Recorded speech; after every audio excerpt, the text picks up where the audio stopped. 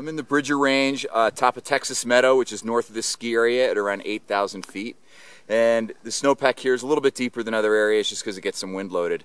What we're worried about is all happening in the upper uh, third of the snowpack. We have about five inches of new snow from the last two days.